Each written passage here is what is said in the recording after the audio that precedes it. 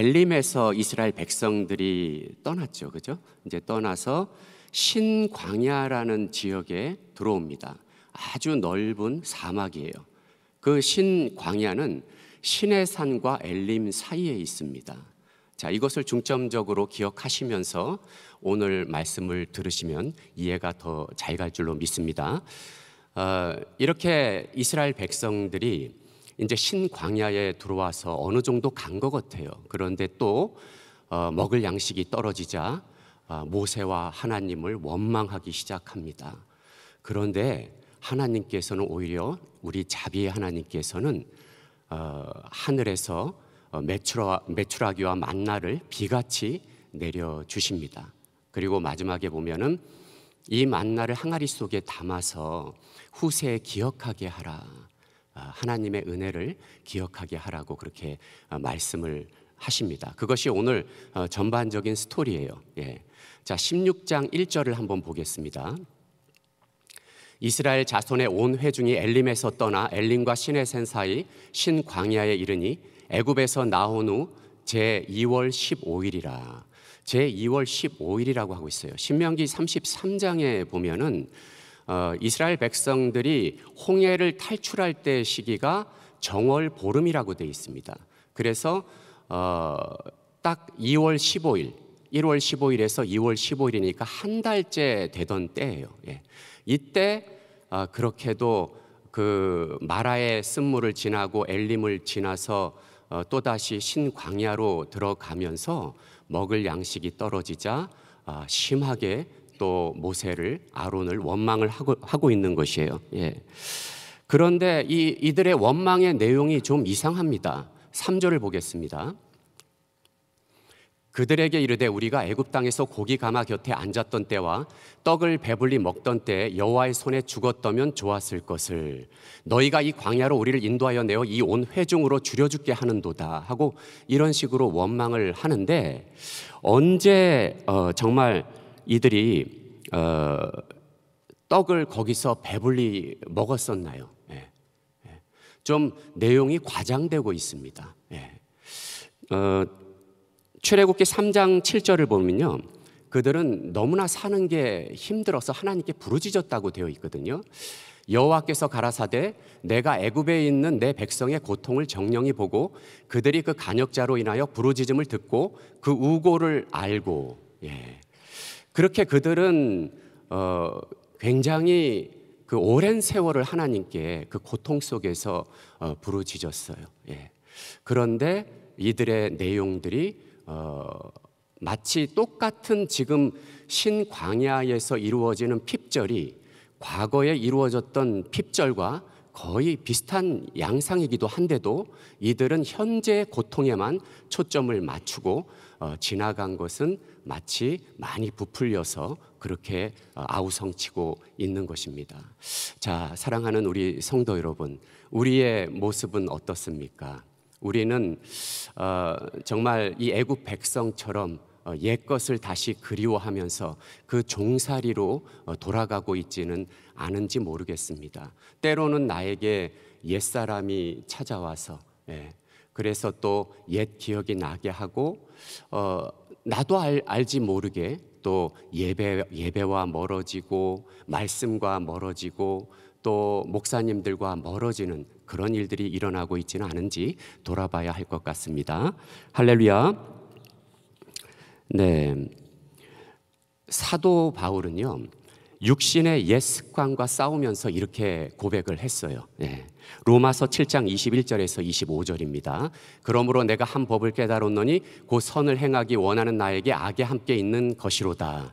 내 속사람으로는 하나님의 법을 즐거워하되 내 지체 속에서 한 다른 법이 내 마음의 법과 싸워 내 지체 속에 있는 죄의 법 아래로 나를 사로잡아 오는 것을 보는도다. 오호라 나는 공고한 사람이로다. 이 사망의 몸에서 누가 나를 건져내랴. 우리 주 예수 그리스도로 말미암아 하나님께 감사하리로다. 그런즉 내 자신이 마음으로는 하나님의 법을 육신으로는 죄의 법을 섬기노라.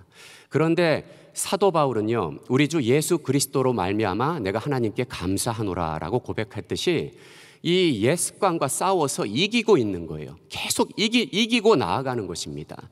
예. 저와 여러분도 계속 이기고 나아가야 될 줄로 믿습니다. 네. 그런데 이스라엘 백성들의 원망의 이유가 이렇게 수십 년이 지난 기억이 아니라 불과 한 달 전의 기억이에요. 예. 애굽에서 살던 그런 한 달 전에 생생한 기억인데도 인간이 이렇다는 것입니다. 모든 게 이렇게 어, 잘못 어, 과거의 것을 쫓고 있다는 것이에요. 예. 그런데도 그렇게 원망할 그때에 우리의 자비하시고 인자하신 사랑의 하나님께서는 하늘에서 상상을 초월하는 희한한 양식을 비같이 내려주시는 것입니다. 4절입니다. 어, 때에 여호와께서 모세에게 이르시되 내가 너희를 위하여 하늘에서 양식을 비같이 내리리니 백성이 나가서 일용할 것을 날마다 거둘 것이라 이같이 하여 그들이 나의 율법을 준행하나 아니하나 내가 시험하리라 네. 이렇게 매일 하늘로부터 일용할 양식을 매일 베푸시는 것이에요 백성들은 매일 나가서 거둘 것이라고 합니다 그리고 법칙이 있다고 하면서 그 법칙을 잘 지키는지 그것도 시험할 것이라고 말씀하시는 것이에요. 예. 그 법칙은 그다지 어려운 게 아닙니다. 예. 매일 거두는 양식을 먹은 만큼만 거두면 돼요. 또 제 6일째는 나가서 7일째 안식일의 양식을 함께 거두면 되는 것이었어요. 예. 그런데요, 그렇지가 않았습니다. 예. 그래서 시험이라는 단어가 여기에 나오는 거예요. 그들을 시험할 것이라. 그 시험이라는 단어가 킹 제임스 버전에 어떻게 나오냐면 prove로 나옵니다. 예, prove. 예. 그러니까 증명이죠. 예. 증명이라는 단어가 딱 이해가 안 가더라고요. 어, 가만히 이렇게 묵상하면서 보니까 이 여호와께서 시험할 것이다. 그것을 만나를 내린 후에 그리고 어, 그 증명할 것이다는 어, 그들이 어, 여호와를 알고 깨달음을 알고 깨달을 때까지 증명할 것이다라는 그런 말씀이에요. 할렐루야. 그렇게 우리 하나님은 우리를 인도하시고 알게 하시고 깨닫게 하시는 우리의 사랑의 하나님인 줄 믿습니다. 자, 6절에서 7절에 나오죠. 그게 모세와 아론이 온 이스라엘 자손에게 이르되 저녁이 되면 너희가 여호와께서 너희를 애굽 땅에서 인도하여 내셨음을 알 것이요 아침에는 너희가 여호와의 영광을 보리니 이는 여호와께서 너희가 자기를 향하여 원망함을 들으셨음이라 우리가 누구간데 너희가 우리를 대하여 원망하느냐 네. 하늘로부터 양식을 주시는 이유는 첫째는 하나님의 존재를 알게 하기 위함입니다. 예. 6절이죠. 너희가 여호와께서 너희를 애굽 땅에서 인도하여 내셨음을 알 것이요. 둘째는 너희는 하나님의 백성임을 알게 하십니다. 예. 그것도 마찬가지로 6절이고요. 셋째는 하나님의 나라를 알리시는 것이에요. 예. 하나님의 영광을 드러내십니다. 7절입니다. 아침에는 너희가 하나님의 영광을 보리니 하나님의 나라는 하나님의 영광으로 이루어져 있습니다. 할렐루야. 만나를 아침마다 열매 맺게 하시며 하나님의 영광을 보이고 계세요. 예, 우리 새벽에 이렇게 나오시는 여러분도 이 새벽마다 예, 하나님께서 영광을 보이시며 열매를 맺게 하고 계신 줄 믿습니다. 네. 자, 이제 거두는 법칙을 통해서 드디어 시험이 주어지기 시작합니다. 매일 아침마다 만나가 주어질 것인데 거둘 만큼 거두라고 하면서 하나도 밤에 남겨두지 말라고 했는데 예, 어떻게 되나요? 필요한 양식을 그, 그 이상으로 필요 없는 양식 이상으로 더 거두는 자들이 나타나는 것이에요. 예. 19절, 20절입니다. 모세가 그들에게 이르기를 아무든지 아침까지 그것을 남겨두지 말라 하였으나 그들이 모세의 말을 청종하지 아니하고 덜어는 아침까지 두었더니 벌레가 생기고 냄새가 난지라 모세가 그들에게 노하니라. 네. 우리는 어땠습니까? 내 가정에 음식을 낭비하고 부패되는 일은 없는지요? 예. 또 내가 아, 하나님께 아, 드려야 되는데 예, 몰래 또 숨기고 있는 물질은 없는지요? 모르고 나도 모르게 잊어버리고 지나치는 아, 그런 일은 없는지요? 내가 드려야 할 때 하나님께 드려야 할 줄로 믿습니다. 그리고 물질도 그런 어떤 우리가 음, 먹는 음식도 어, 낭비하지 말고 내가 항상 어, 사랑과 희락과 화평과 오래 참음과 자비와 양선과 온유와 절제 모든 일에 어, 절제함으로 인해서 예, 우리가 영혼의 양식이 충만하게 이루어지기를 축원합니다. 네. 자, 그래서 23절에서 26절에 가면은요. 하나님은 일곱째 날을 특별히 안식일로 쉼을 갖도록 하십니다. 이스라엘 백성들은 어, 육적인 삶은 물론 영적인 삶에서도 하나님을 떠나서 살 수가 없다는 것을 깨닫게 하시는 거예요. 하나님께서. 예. 그리고 특별히 안식일은 어, 모든 삶을 주관하시는 하나님을 진정한 주로 섬기면서 안식하면서 그날을 거룩하게 예, 배드리며 지켜야 하는 줄로 믿습니다. 자, 그리고 일곱째 날에는 안식인즉 너희가 거두러 나가도 없을 것이다. 헛된 수고를 하지 말라. 그렇게 하나님은 말씀하십니다. 그런데도 어떤 일이 생기나요? 예, 아주 재미있는 일이 27절에 나옵니다. 예, 함께 우리 합독할까요? 시작. 제 7일에 백성 중 더러가 거두러 나갔다가 얻지 못하니라. 예. 이런 일이 생겨나는 거예요. 나가도 없다고 했는데 꼭 이런 일, 어, 이런 일들이 생겨납니다. 그래서 아, 우리가 우리 자신을 돌아봐야 되는데 자 지금도 이렇게 의심하는 일들이 일어난다는 것이에요. 과거만 그런 것이 아니라 비일비재하게 하나님을 신뢰하지 못하고 의심한단 말입니다. 의심이 점점 점점 강화된 성경의 사람이 누굽니까?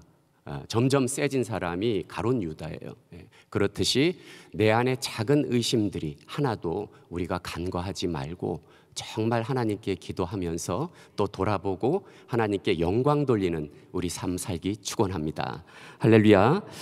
자, 어, 32절에서 36절은 하나님은 만나를 항아리에 넣도록 보관하시죠. 예. 하나님의 끊임없는 은혜를 보여주는 이 항아리는 증거판과 함께 두라고 그렇게 말씀하고 있습니다. 예. 자, 증거판은 무엇일까요? 십계명이죠. 두 돌판을 얘기하죠. 그죠? 예. 그런데 이 증거판에 대한 말, 어, 이야기는 바로 하나님의 공의를 상징하고 있고요. 만나는 어, 하나님의 사랑을 어, 상징하고 있습니다. 그래서 이 항아리는 하나님의 사랑을 상징하고 증거판은 하나님의 공의를 상징하는데 보면은 이 지금 어, 신광야에서 신의 산까지 가는데 2년이 걸려요. 예. 예. 일주일이면 갈 수 있는 거리입니다. 예. 자, 그렇게 원망하면서 갔더니 2년이 걸립니다. 그리고 이 신의 산에서 결국 드디어 하나님께서 가장 최종적인 언약의 율법이 주어집니다. 그것이 십계명이에요. 예. 자, 십계명이 주어진 주어지기 전에 2년의 광야 생활을 광야 일기라고 하고 십계명이 주어진 다음에 38년간 38년 후에 가나안 땅에 도착합니다. 십계명이 주어진 그것을 그 38년을 광야 이기라고 했을 때 가정했을 때이 어, 이스라엘 백성들의 원망이 어떠냐면 원망은 계속돼요 처음부터. 예.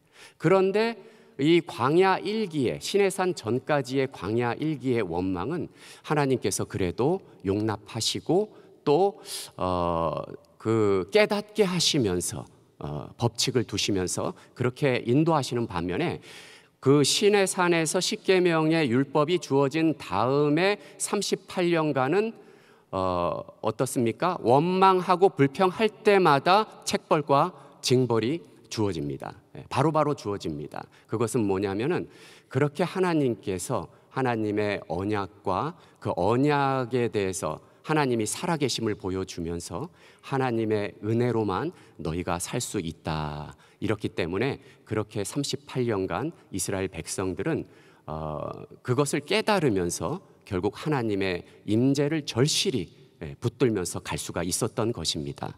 네, 할렐루야.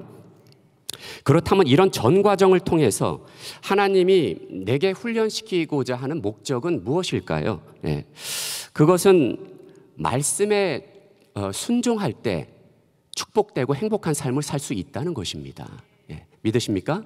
네. 자, 제가 묵상한 한 구절은 16장 15절입니다. 이스라엘 자손이 어, 보고 그것이 무엇인지 알지 못하여 서로 이르되 이것이 무엇이냐 하니 모세가 그들에게 이르되 이는 여호와께서 너희에게 주어 먹게 하신 양식이라 여호와께서 너희에게 주어 먹게 하신 양식이다. 이 부분을 묵상하면서 저는 제목을 여호와께서 우리에게 주신 양식으로 지었습니다. 여러분 만나가 무슨 뜻인지 아세요?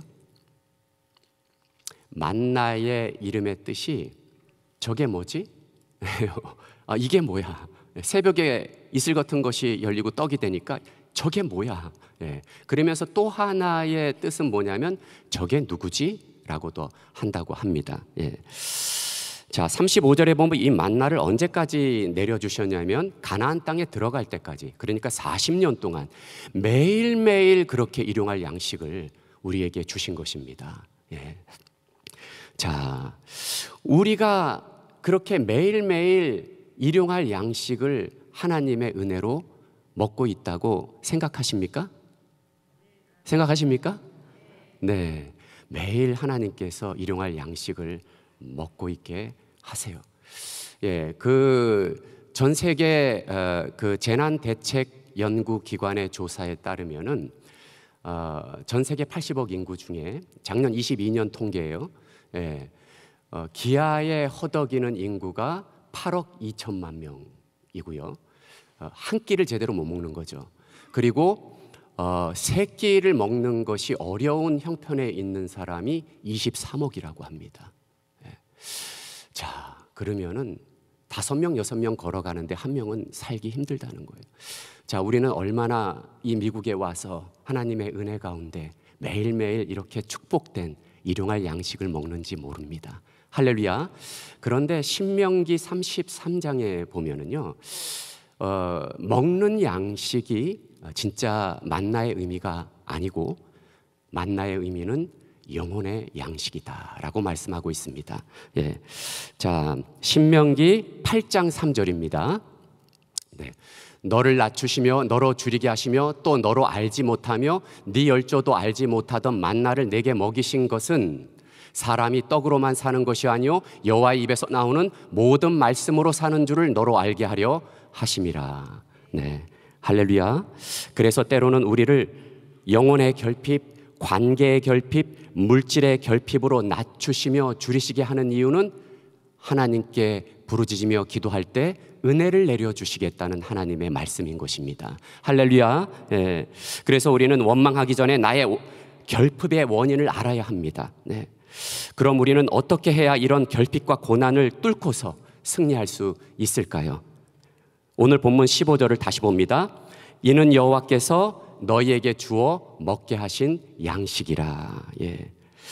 이것에 대한 것을 보면은요, 여기에 해답이 들어 있어요. 예.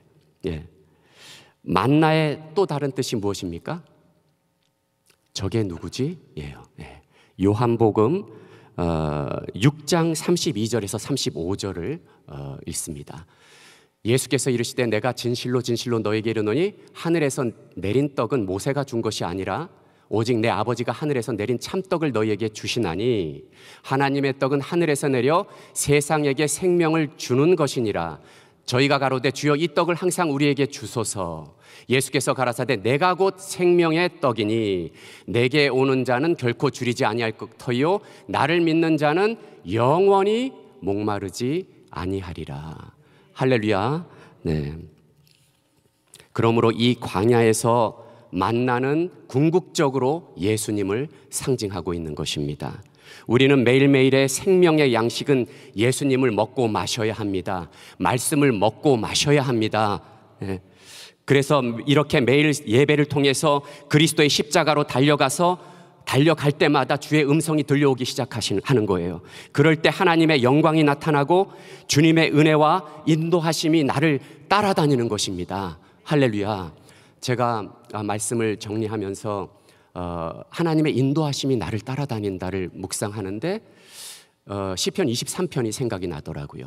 자, 다윗은 어땠습니까? 예, 다윗은 가장 어려운 시기에 이 시편 23편을 지었는데 3절과 6절을 보면은요. 3절에 보면은 내 영혼을 소생시키시며 자기의 이름을 위하여 의의 길로 인도하시나니. 예. 내가 절망과 좌절 가운데 있을 때 그 다윗이 하나님을 부르짖으며 그 내 영혼을 소생시켜 달라고 기도했을 때 하나님께서는 어떻게 하십니까? 자기의 의를 위하여 예. 하나, 하나님께서 어, 의의 길로 인도하신다고 그렇게 말씀하시는 것입니다. 하나님께서는 그 기도를 바로 들으시고 다윗을 어, 일으켜 세운 줄로 믿습니다. 그러면서 용기를 주면서 담대함을 갖게 하시고 사망의 음침한 골짜기를 지나 지날 때에도 내가 두려워하지 않는 것은 주께서 나와 함께 하심이라 주의 지팡이와 막대가 나를 안위하시나이다 하고 담대함과 용기를 갖고서요. 결국은 마지막 절 6절에 가면 어떠냐면 내 평생의 주의 선하심과 인자하심이 정령 나를 따르리니 내가 아버지 집에 영원히 거하리로다. 내 평생의 아버지께서 하나님께서 나와 함께 동행하신다는 그런 믿음과 확신의 고백을 하게 되는 것입니다. 예. 그러므로 다윗은 나라를 빼앗기고 자식 압살롬에게 나라를 빼앗기고 도망쳐 나오면서 이 시편을 지었는데 그 폭풍의 한가운데서도 평강이 그렇게 마음속에 일고 있는 것입니다. 우리 모두도 이렇게 하나님께 부르짖으며 기도할 때 큰 평강과 하나님의 위로가 있기를 축원합니다.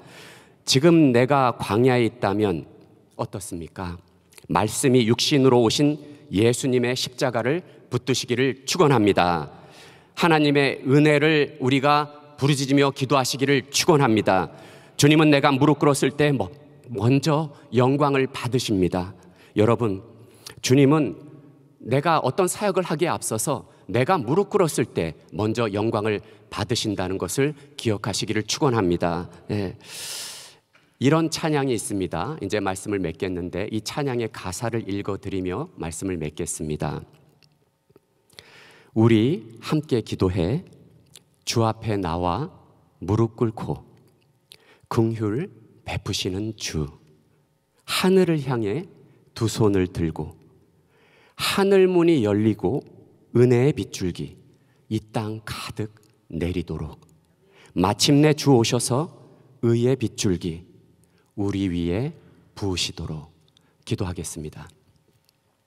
하나님 감사합니다. 하나님의 그 만나의 은혜와 그 영혼의 양식을 기억하면서 우리 주 예수 그리스도의 십자가의 보혈을 기억하면서 하나님 우리가 이 시간에 기도하고 부르짖을 때 성령께서 역사하시고 하나님 아버지 이 말씀의 축복이 이루어지도록 역사하여 주시옵소서. 예수님을 붙들게 하여 주시옵소서. 아버지 은혜 가운데 은혜를 사모하게 역사하여 주시옵소서. 하나님 아버지 오직 우리의 삶이 주의 인도하심을 따라가는 길임을 고백하게 역사하여 주시옵소서. 감사드리며 예수님의 이름으로 기도하옵나이다. 아멘. 우리 말씀 생각하시면서 우리 함께 기도에 같이 찬양합니다.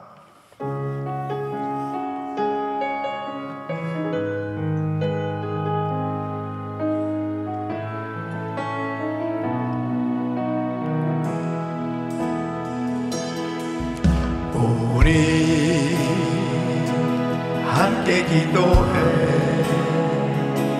주 앞에 나와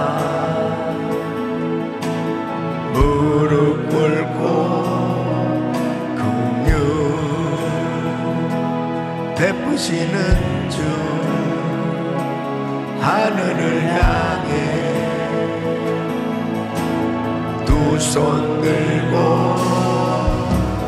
하늘 문이 열리며 의의 빗줄기 이 땅 가득 내리도록 마침내 주 오셔서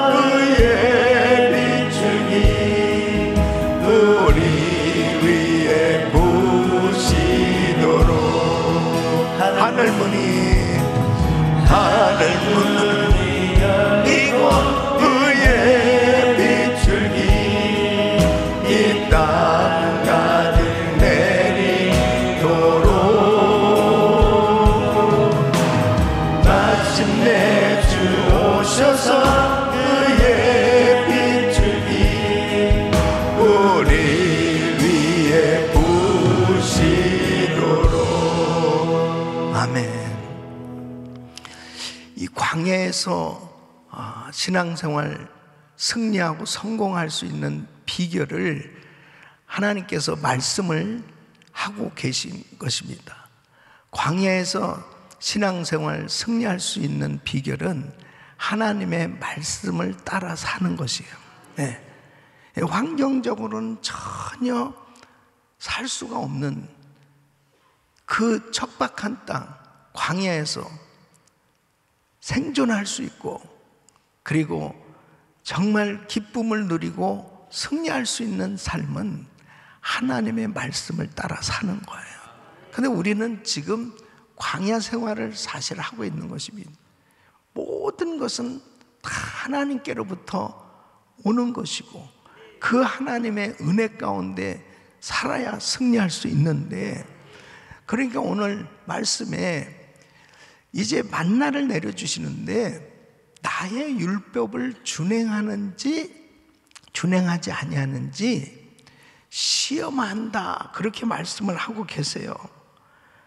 내가 시험하리라 이렇게 말씀하십니다. 그것은 하나님의 말씀을 가진 하나님의 백성들은 말씀을 따라 살아야 되는데 그 말씀에 순종이 안 되어지면 그 약속의 말씀이 나의 삶에 이루어질 수가 없는 것입니다. 그러니까 하나님은 우리에게 놀라운 은혜를 주시기로 작정하셨고 축복해 주시기로 작정하셨는데 그 말씀을 준행하는 사람에게 임한단 말이죠. 그러니까 오늘날도 똑같이 이루어집니다. 일주일 동안, 엿새 동안 열심히 일하라는 거죠. 하나님께서 다 책임져 주시겠다는 거예요. 그리고 이제 일곱째 날 안식일을 거룩히 지켜라. 그 하나님을 온전히 예배할 수 있는 하나님의 말씀을 준행하고 살면 하나님께서 책임져 주시는 것입니다. 오늘도 이 약속의 말씀을 붙들고 하나님은 나에게 모든 것을 다 주셨는데 내가 하나님의 약속의 말씀을 의지하지 못하고 환경을 의지하고 있는 것이 있는지 다시 한번 살펴보고 철저히 하나님 말씀 붙들면 승리하게 되는 줄로 믿습니다. 자, 두 손을 가슴에 모으시고 몸이 아픔들 아픈 곳에 손 얹으십시오. 사람이 떡으로만 살 것이 아니요 하나님의 입에서 나오는 모든 말씀으로 살 것이라고 하셨는데 광야 생활하는 우리들이 이 광야에서 신앙생활 성공하고 승리할 수 있는 비결은 오직 하나님의 말씀, 그 말씀에 따라 살 때, 그 말씀을 준행하며 살 때 승리하는 줄로 믿사오니 끝까지 말씀 붙들게 하여 주시옵소서. 말씀에 순종이 되게 하여 주시옵소서. 하나님의 역사가 일어나게 하여 주시옵소서. 연약한 육신들 안수하여 주시고 깨끗게 하여 주시옵소서. 예수 그리스도 이름으로 명하노니 모든 암세뿐 없어. 절저다. 모든 병만은 떠나 갈저다. 모든 통증은 사라 절저다. 왕장의 우울증 불면증 떠나 갈저다. 예수 이름으로 깨끗한 말을 쳐다. 말씀 붙들고 일어나게 하여 주시옵소서. 승리하게 하여 주시옵소서. 하나님 깨끗게 하여 주시옵소서. 이제는 우리 구주 예수 그리스도의 은혜와 우리 하나님 아버지의 그 무한하신 사랑과 성령님의 감동 감화 교통 충만 없이 은총이 하나님의 말씀을 준행하며 그 말씀 따라 살기를 다짐하는 모든 성도들 모니 이제로부터 영원토록 함께 있을 지어다 아멘.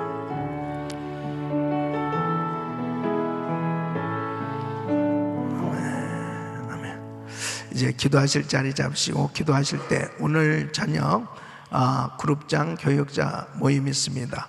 우리 그룹장님들 위해서 그룹 담당 목사님들 위해서 기도해 주시고 또 아, 세계 선교대회를 위해서 기도해 주시길 바랍니다. 단기 선교팀들 위해서 기도해 주시고 이번 토요일 날 Grace Festival이 있습니다. 예, Grace Festival 위해서 기도해 주시고 또 많은 성도님들 베스가도로들 참여하시길 바랍니다. 우리 주여 세 번 부르짖고 기도합니다. 주여, 주여, 주여 걸어가시고 정리하시나.